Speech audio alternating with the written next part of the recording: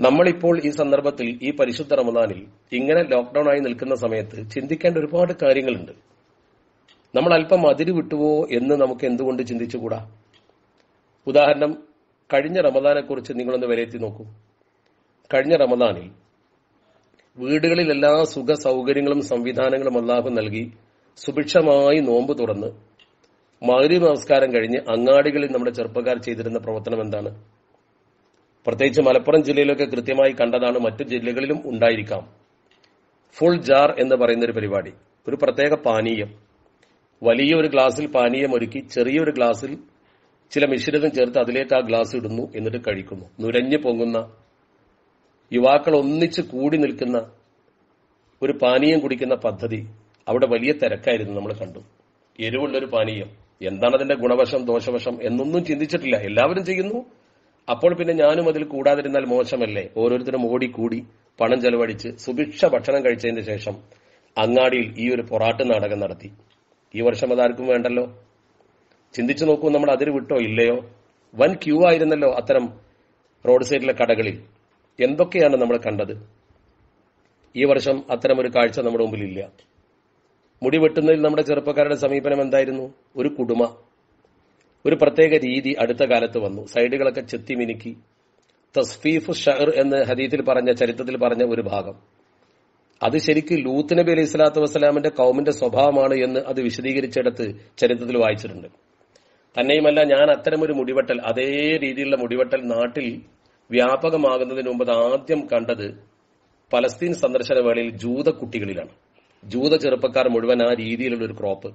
ഇതേ രീതിയാണ് നാട്ടിൽ പിന്നീട് വന്നത്. ഇസ്ലാം നിരോധിച്ച ജൂതന്മാരുടെ ആ സംസ്കാരം ഇസ്ലാമിക ചരിത്രത്തിൽ ലൂത്ത് നബി അലൈഹി സ്വലാത്തു വസ്സലാമിന്റെ കൗമ് ചെയ്തിരുന്ന പ്രവർത്തനം എന്ന് പറഞ്ഞ അതേ സ്വഭാവം. നമ്മളതിന് മത്സരിച്ചു. അതിനുവേണ്ടി പ്രത്യേകം ഫോട്ടോയൊക്കെ വെച്ച് ബാർബർ ഷാപ്പുകൾ തയ്യാറായി ആളുകൾ ക്യൂ നിന്നു. വലിയ ക്യൂ ആയിരുന്നല്ലോ. മിക്ക ചെറുപ്പക്കാരും പള്ളിയിൽ നിസ്കരിക്കാൻ വരുന്നവൻ പോലും ആ രീതിയിലായിരുന്നു മുടിവെട്ടിയിരുന്നത്. ഇസ്ലാം നിരോധിച്ച പ്രവർത്തനം. നമ്മൾ കണ്ടു നമ്മൾ സഹിച്ചു. എന്നാൽ ഇത്തവണ മൊട്ടയടിക്കേണ്ടി വന്ന ആളുകൾക്ക് അള്ളാഹു സുബാനുവത്താല അത്തരം ബാർബർ ഷോപ്പുകളൊക്കെ ഇന്ന് സമീപിക്കാൻ കഴിയാത്തൊരവസ്ഥയിലേക്ക് എത്തിച്ചു.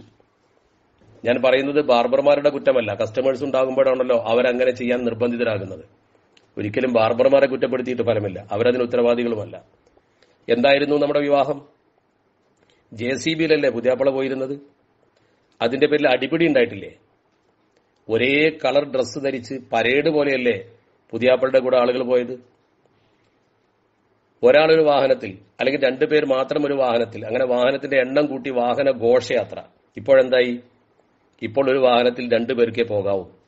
ലോക്ക്ഡൌൺ ടൈമിലെ നിയമം. ആ നിയമം തന്നെ ഇളവുള്ള സ്ഥലത്ത് മാത്രം. റെഡ് സോണിൽ അതില്ല. നമ്മൾ ചെയ്തു കൂട്ടിയ പ്രവർത്തനത്തിന്റെ ഒരു തിരിഞ്ഞു തിരിഞ്ഞുനോട്ടത്തിന് നമുക്ക് അള്ളാഹു അവസരം തന്നു എന്ന് കരുതിയാൽ നമുക്ക് ക്ഷമ വരും. നമ്മൾ ഒന്നുകൂടി മനസ്സ് നന്നാക്കും എന്നാണ് എന്റെ അഭിപ്രായം. കുറ്റപ്പെടുത്തുകയല്ല. നമ്മളെല്ലാവരും അതിൽപ്പെട്ടവർ തന്നെ. ഉപദേശിക്കുകയല്ല വിലയിരുത്തുക മാത്രമാണ്. അങ്ങനെ മനസ്സിലാക്കിയാൽ മതി. എന്തായിരുന്നു നമ്മുടെ സൽക്കാരം? കഴിക്കാനല്ല കാണിക്കാനല്ലേ നമ്മൾ വിഭവങ്ങൾ ഉണ്ടാക്കിയത്? വൈവിധ്യമാർന്ന വിഭവങ്ങൾ.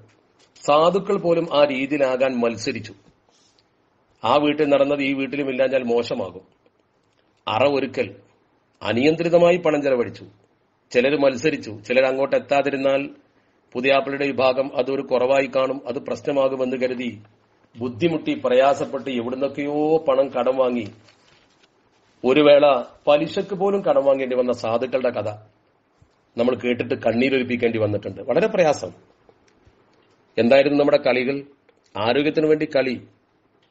അത് ഇസ്ലാമിന്റെ പരിധിക്കുള്ളിലാണെങ്കിൽ അനുവദനീയമാണ് ആവശ്യമാണ് വ്യായാമം വളരെ പ്രധാനമാണ്. നമ്മളൊക്കെ മുമ്പും കളിച്ചിരുന്നു. അസറിന്റെ സമയം കഴിഞ്ഞ് അല്പം ഒഴിവ് കിട്ടുമ്പോൾ. ഇഷാ മരുവിനിടയിൽ പണം കൊടുത്ത് കളിക്കുന്ന കളി അതാരാ കൊണ്ടുവന്നത് ടർഫ്.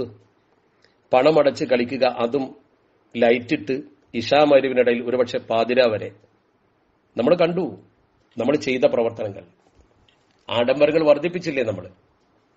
അത്യാവശ്യമാകാമെന്ന് ഇസ്ലാം പറഞ്ഞിട്ടുണ്ട്. സലാസുമിൻ അസ്ബാബി സഹാദ മൂന്ന് കാര്യങ്ങൾ വിജയത്തിന്റെ അടിസ്ഥാനമാണ് എന്ന് ഇസ്ലാം പഠിപ്പിച്ചിട്ടുണ്ട്. അസൗജത്തു സ്വാലിഹത്തു നല്ല ഒരു ഭാര്യ ഇണ. വൽ മർക്കബു സ്വാലിഹ് നല്ല ഒരു വാഹനം. വൽ മസ്കനുൽ വാസിൾ അത്യാവശ്യം വിശാലതയുള്ള ഒരു വീട്. പക്ഷെ ഇതിനൊക്കെ ഒരു പരിധിയുണ്ട്. ആ പരിധി ലംഘിച്ചോ നമ്മൾ ആഡംബര കാറുകൾ ആഡംബര വീടുകൾ. ആവശ്യത്തിലേറെ സൗകര്യങ്ങൾ ഒരുക്കാൻ നമ്മൾ ശ്രമിച്ചു. ഭൂമിയിൽ സ്ഥിരതാമസം നടത്തുന്നത് പോലെ. ആവശ്യമാകാം അനാവശ്യം ചോദ്യം ചെയ്യപ്പെടും ഉറപ്പല്ലേ? റമദാൻ തന്നെ നമ്മൾ കഴിഞ്ഞ റമദാനൊക്കെ എന്തൊരു ആഡംബരമായിരുന്നു. വിവിധ ഭക്ഷണങ്ങളുടെ മത്സരഭൂമിയായിരുന്നില്ലേ റമദാൻ കാലം? ചില ചാനലുകൾ പ്രത്യേകം പാചക ക്ലാസുകൾ റമദാനിൽ നമുക്ക് തരും. നമ്മൾ ഭക്ഷണപ്രിയരാണ് അല്ലെങ്കിൽ നമ്മളെ ഭക്ഷണപ്രിയരാക്കണം. അതാണ് അവരുടെ താല്പര്യം.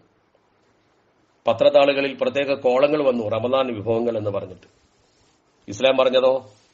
മാ മല ആദമിയുൻ വ്യാൻ മിൻ ഷർറം മിൻ ബത്നിൻ. അങ്ങനെ തന്നെ ഹദീസ്? മാ മല ആദമിയുൻ വ്യാൻ ഷർറൻ മിൻ ബത്നിൻ. വയറിനേക്കാൾ മോശപ്പെട്ട ഒരു പാത്രം ആദം സന്തതികൾ നിറച്ചിട്ടില്ല എന്നാണ്. വയറ് വല്ലാതെ നിറക്കുക എന്നത് മോശപ്പെട്ട പ്രവർത്തനമാണ് എന്ന് തങ്ങൾ തുറന്നു പറഞ്ഞ വാചകമാണത്. എന്നിട്ട് നബി തങ്ങൾ പറഞ്ഞു ബി ഹസ്ബിബിനി ആദമ ഉക്കുലാത്തുൻ യുക്കിന്ന സുൽബഹു എന്ന. നമുക്കൊന്ന് നിവർന്നു നിൽക്കാൻ നട്ടൽ നിവർത്തി നിൽക്കാൻ ഉക്കുലാത്ത് അല്പം ഭക്ഷണം മതി ലഘുഭക്ഷണം മതി ആവശ്യത്തിന് ഭക്ഷണം മതി. വേറെ ഹദീസിൽ ലുക്കൈമാത്തുൻ എന്നും പറഞ്ഞിട്ടുണ്ട്. എന്നിട്ട് ഇസ്ലാം പഠിപ്പിച്ച ഒരു ഭക്ഷണ രീതി ഉണ്ടല്ലോ ഡയറ്റ് കൺട്രോൾ. വളരെ മനോഹരമായിട്ട്. സുലുസുല്ലി തൊഴാമിഹി വസുലുസുല്ലി ഷറാബിഹി വസുലുസുല്ലി നബസിഹി എന്ന് പറയുന്നത് എല്ലാവർക്കും അറിയാവുന്ന കാര്യമാണ്. അന്നത്തിനും വെള്ളത്തിനും വായുവിനും മൂന്ന് ഭാഗമാക്കി തിരിക്കുന്ന ഒരു രീതി. ഒരുപടി രോഗങ്ങൾ അതുകൊണ്ട് നമുക്ക് തടുക്കാൻ കഴിയും. മഹാനായ ലുക്കുമാൻ അൽ ഹക്കീം റതി അള്ളാഹു തലാൻകു അദ്ദേഹം വലിയ ദാർശനികനായിരുന്നുവല്ലോ. അലക്സാണ്ട്രിയയിലാണ് അദ്ദേഹത്തിന്റെ കബറുള്ളത് അലഹമില്ല സിയാർത്ത് ചെയ്യാൻ അവസരം ഉണ്ടായിട്ടുണ്ട് ഈജിപ്തിൽ മെഡിറ്ററേനിയൻ കടലിന്റെ തീരത്ത് മനോഹരമായ അലസാൻഡ്രിയ നഗരത്തിൽ ഒരു പള്ളിയിലാണ് ബഹുമാനപ്പെട്ടവരുടെ കബറുള്ളത്. മഹാനവർകൾ തന്റെ മകന് കൊടുത്ത സതുപദേശത്തിന്റെ ഗണത്തിൽ ഒന്ന് കാണാം. യാ ബുനയ്യ ഇതം തുലിയത്തിൽ മഴിതത്തു മോനെ നിന്റെ ആമാശയം നീ വല്ലാതെ നിറച്ചാൽ ആമാശയം അങ്ങ് നിറഞ്ഞു കഴിഞ്ഞാൽ നിറക്കപ്പെട്ടാൽ നാമത്തിൽ ഫിക്രത്തു വ ഹറസത്തിൽ ഹിക്മത്തു വ കഴതത്തിൽ അനിൽ ഇബാദ. ചിന്തകൾ മരവിച്ചു പോകും. നിന്റെ ഹിക്മത്ത് നിന്റെ ബുദ്ധി ബുദ്ധിശക്തിയൊക്കെ ഇല്ലാതെയാകും. ഹറസത്ത് എന്ന് പറയുന്ന വാക്കിന്റെ അർത്ഥം തന്നെ മ്യൂട്ട് എന്നാണ്. അതങ്ങ് നിശ്ചലമാകും. കഴതത്തിൽ കഅദത്തിൽ അഅ്ലാഉ അനിൽ ഇബാദ.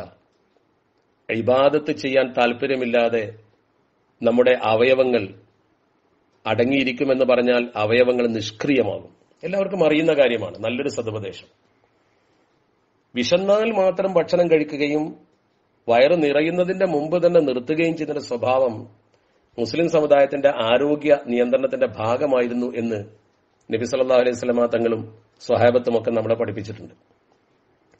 വിഷയത്തിലേക്ക് വരാൻ നമുക്ക്. ഞാൻ പറഞ്ഞു വന്നത് ഈ ഒരു അവസ്ഥ എങ്ങനെ നമുക്ക് പരിഹാരം കാണാം ഈ അവസ്ഥക്ക് എന്നാണ് നമ്മൾ ചിന്തിക്കേണ്ടത്. ഡയഗ്നോസിസ് എന്ന് പറയും. അതായത് രോഗം ലക്ഷണം നോക്കി കണ്ടെത്തുക. രോഗം എന്തെന്ന് കണ്ടെത്തുമ്പോഴല്ലേ നമ്മുടെ ചർച്ച പരിഹാരമാണല്ലോ. പ്രശ്നം അറിഞ്ഞെങ്കിലേ പരിഹാരം പറയാൻ പറ്റൂ. അവിടെ നമ്മൾ ചിന്തിക്കേണ്ടത് വല്ലാതെ നമ്മൾ അള്ളാഹുവിനെ ധിക്കരിച്ചുകൊണ്ട് പടച്ച റബ്ബ് തന്ന സൗകര്യത്തിൽ മതിമറന്ന് വല്ലാതെ മുന്നോട്ട് പോകുമ്പോൾ ഹസൻ അലി അള്ളാഹു പറഞ്ഞു അദ്ദേഹം നിർണയിച്ചു. എന്താണ് നമ്മുടെ രോഗം? എന്താണ് പ്രശ്നമെന്ന്? ഇന്ന ബൈനൽ അബദിയോ ബൈനല്ലാഹി ഹദ്ദൻ മഹദൂദൻ മിന ദുനൂബ്ന. ദോഷം ചെയ്യുകയാണെങ്കിലും അള്ളാഹു അടിമയും തമ്മിൽ ഒരു പരിധി ഉണ്ട് എല്ലാത്തിനും. വല്ലാതെ കളം പിടിച്ചാടരുത് ഫൈദ ബലാഹു ആ പരിധി എത്തിക്കഴിഞ്ഞാൽ അള്ളാഹുവിന് നമ്മളെ സഹിക്കാൻ പറ്റാത്തൊരവസ്ഥ നമ്മൾ ആക്കി കഴിഞ്ഞാൽ തൊബ അല കൽബിഹി ഹൃദയത്തിന് സീൽ വെക്കും. ഫലം യോഫിഖുലിൽ ഹൈരി അബദ പിന്നെ അവൻ അവനൊരു ഹൈറും ചെയ്യാനുള്ള തൗഫീഖ് ഉണ്ടാവില്ല. ആ ഒരു ഗതിയിലേക്ക് പോകാതിരിക്കണം. വല്ലാതെ അതിരുവിടരുത്. അതാണല്ലോ ഖുർആൻ ചോദിച്ച് അം അല കുലൂബിൻ അക്ഫാലുഹ നിങ്ങളെ ഹൃദയത്തിന് എന്താ പൂട്ടിട്ടിട്ടുണ്ടോ എന്ന് ചോദിച്ചത്. ഹൃദയത്തിന് പൂട്ടിടും അള്ളാഹു. അള്ളാഹു തന്നെയാണ് പൂട്ടിടുക. കാരണം അള്ളാഹുവിനോട് അടുക്കുന്നതിന് പകരം വല്ലാതെ അകലുമ്പോൾ ഒരു പരിധിക്ക് അപ്പുറം പോയാൽ പിന്നെ കണക്ഷൻ നഷ്ടപ്പെടും. അത് ഏത് സെർവറിന്റെയും കണക്ഷൻ നഷ്ടപ്പെടും. നമുക്കറിയാമല്ലോ. റേഞ്ചിന് ഒരു പരിധി ഉണ്ടാവും. അള്ളാഹു നമ്മളും തമ്മിൽ ആ റേഞ്ച് കാത്തു സൂക്ഷിക്കണം. അതിനിടയ്ക്ക് ചില്ലറ വീഴ്ചകളൊക്കെ വരും. മനുഷ്യനല്ലേ? വരും വരാം. വരാതിരിക്കാൻ ശ്രദ്ധിക്കണം. അതിനപ്പുറത്തേക്ക് പിന്നെയും പോയാൽ ആ കണക്ഷൻ കട്ടാവും അപ്പോഴാണ് അം അല കുലൂബിൻ അക്ഫാലുഹ എന്ന് പറഞ്ഞ അവസ്ഥ ഉണ്ടാകുന്നത്. അതുകൊണ്ട് നമ്മൾ ലോക്ക്ഡൌൺ ടൈമിൽ കൂടുതൽ ആരാധന നിർവഹിച്ചുകൊണ്ട് റബ്ബിലേക്ക് അടുക്കാൻ ശ്രമിക്കണം. സാധാരണഗതിയിൽ നമ്മൾ അധ്വാനത്തിലൂടെ അള്ളാഹുവിലേക്ക് എത്ര അടുക്കുന്നുവോ അഥവാ അധ്വാനം എന്നതുകൊണ്ട് ഞാൻ ഉദ്ദേശിച്ചത് തൊഴിൽ ചെയ്യുക എന്നുള്ളതാണ്. ഇബാദത്ത് പോലെ തന്നെയാണ് തൊഴിലും. ഇന്നല്ലാഹ യുഹിബു ഐ യറാ അബുദഹു തഴിബൻ ഫി മൈഷത്തിഹി എന്നാണ്. ഒരടിമ അള്ളാഹു സുബാനഹുവ തലയുടെ മാർഗത്തിൽ ജീവിക്കാൻ ആഗ്രഹിച്ചുകൊണ്ട് അവൻ എന്തെങ്കിലും സമ്പാദ്യം ഉണ്ടാക്കാൻ വേണ്ടി തടിബൻ ഫി മഴീഷത്തി അവന്റെ മഴീഷത്തിന് വേണ്ടി ജോലി ചെയ്ത് ക്ഷീണിച്ചു നിൽക്കുന്നത് കണ്ടാൽ ഇന്നല്ലാഹിബു അള്ളാഹുവിന് വലിയ ഇഷ്ടമാണ്. നിങ്ങളൊക്കെ ഗൾഫുകാർ എത്ര അധ്വാനിക്കുന്ന ആളുകളാ? നാട്ടിലുള്ള തൊഴിലാളികളും എത്രമാത്രം അധ്വാനിക്കുന്ന ആളുകളാണ്? അങ്ങനെ അധ്വാനിക്കുന്ന ഒരാളെ കാണുന്നത് അള്ളാഹുവിന് ഇഷ്ടമാണ്. അപ്പൊ സാധാരണഗതിയിൽ നമ്മൾ ഈ ജോലി ചെയ്യുമ്പോൾ പോലും അത് അള്ളാഹുവിന് ഇഷ്ടമാണ്. കാരണം നമ്മുടെ ഹലാൽ തേടി ജോലി ചെയ്യുകയാണ്. എന്നിട്ട് ഒഴിവ് കിട്ടുന്ന സമയത്ത് വൃത്തികേടിന് പോകാതെ നല്ല പ്രവർത്തനങ്ങൾക്ക് നമ്മൾ വിനിയോഗിച്ചാൽ ഇൻഷാ അള്ളാഹ് അള്ളാഹു നമ്മളെ ഇഷ്ടപ്പെടും. ഇഷ്ടപ്പെടുമ്പോൾ അള്ളാഹു നമുക്ക് ഫറജും മഹർജും തരും. അത് അള്ളാഹുവിന്റെ വാഗ്ദാനമാണ്. അതിലൊരിക്കലും നമ്മൾ നിരാശരാകാൻ പാടില്ല. അള്ളാഹു തന്നെ പറഞ്ഞില്ലേ